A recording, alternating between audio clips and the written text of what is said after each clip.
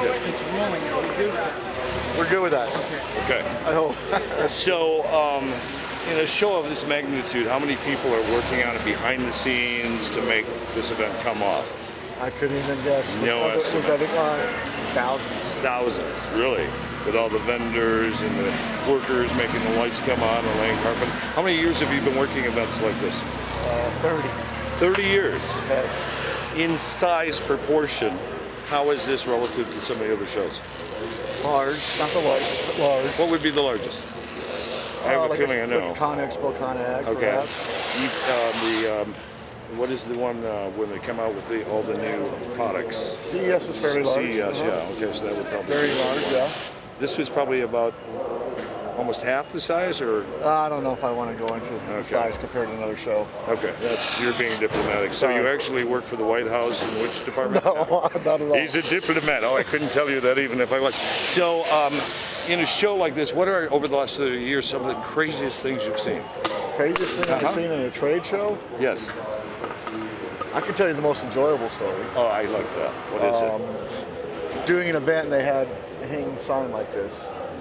And Oh, it- like sometimes things get mixed up or lost, Yes. and it went away for like three days on a trailer that had stuff that was no longer needed. Oh. So we spent like three days trying to search for this on these trailers. How? They were of Asian descent, and different cultures have different cultural beliefs, and this gentleman was devastated. Oh. And you could just get the somber feeling that it was coming almost over for him as far as his career when he got back home. Oh. And 20, 30 guys with him with all somber feelings. And at the time I was parked in the dirt lot where those trailers were parked, Right. and we had these light towers. And I drove going home the night before, just like the night before the show opened, just like tonight. Right. I pull in from a pickup, or from a tractor trailer driving my pickup. As soon as I turned the corner, they found that crate. And oh. all these gentlemen were jumping up for joy. So it was found in time for the show. Well, and it got it over and hung it. And, it, oh, so he didn't lose his job. and I I, I, le- I lean on that story when it gets tough, like, you know, we're here for those folks. And That's really a nice story. So- Inspirational. it was to me, I still lean on it 20 years later. Wow.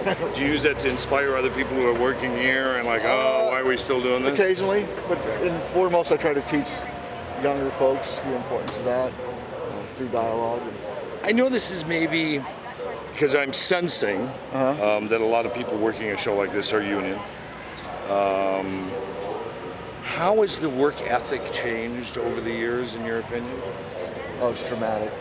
I, I think it is. I, It's I dramatic. think um, that we've we've gotten to an area where you know we've kind of lost that collective sense of teamwork at times and and um, a sense of entitlement. Oh, you're talking about change for the worse?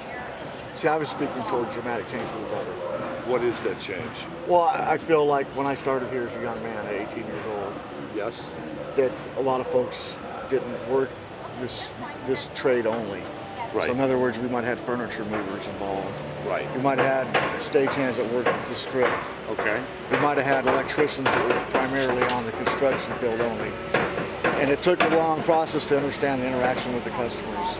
It's unique to this industry versus the industries they So it's now a more specialized, developed team that would do a show like this and other shows like this. That's just this. my opinion, and they Nice. understand the customer interaction better. Mm-hmm. So I, I respect your opinion also. If you say it's gone.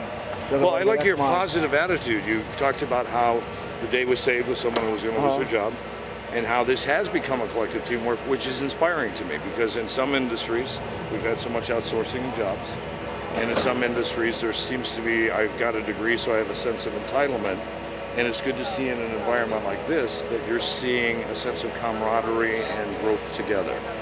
I, I, I believe that. That's my opinion. Yes. I really love to hear that. That's really encouraging. So, somebody new who wants to get started in this business, what what are your words of wisdom? What are your key advice? Uh, there's so much opportunity out here. I'm not sure the question is geared at one particular aspect of No, this business. or it's just an open-ended question. Well, first of all, care that you're in the service industry. Okay. Because if you don't have that kind of attitude caring, the, the employees out here aren't going to really latch on to you. Or Kind of hard to be of service to people if you're not involved in servicing people. Okay, that makes sense. Yes. So that would be the biggest advice I'd give. Mm-hmm. You know, and, and from there, the, almost any background you have in any walk of uh, another trade might have an application to this, right. believe it or not. So, Really? I mean, a lot Okay. of different things. I mean, Part as, of- I mean, as far as yourself, I'm not sure what your background is, but tomorrow we have presentation folks all throughout this place. Right. Behind the camera, behind Oh, absolutely. And that's people that outside this industry might not have that perspective that even exists here. And that's important for people to know because there are so many people, from my perception being on the other side of the camera sometimes, is that there are so many people that just want to be the star. I, you know, I want to be the guy in charge, or I want to be somebody who is the shot caller, um, and aren't aware of all the, unique things that go on behind the scenes that can be as exciting, if not more so, in the magic of making it happen and being part of. There's probably a lot of people out here that feel that way, but there's a lot of people that are in charge too. Oh, yeah? So it's fulfilling to us with Large Eagles also. I like that. I like that. You know, Where are you from? I was born here. You were born right here. Hen- wow. well, Henderson- in Henderson- right at C0. Henderson, Nevada. Okay, Henderson. Okay. Nevada. So you're actually an original native. I thought uh, yeah, Las Vegas had become like Southern California, where there's like for every 10,000 people there, one was maybe even born there. I can't give you a ratio, but for me, I know people that are third generation Nevadans. Wow. Um, they were my age. Are your age? So you're about 30 now. No, I'm actually. Oh, you've been doing this 30. Yeah, I'm 48. Wow. So how old were you when you started in this 18. industry? Congratulations. Thank you, sir. That's longevity. It is.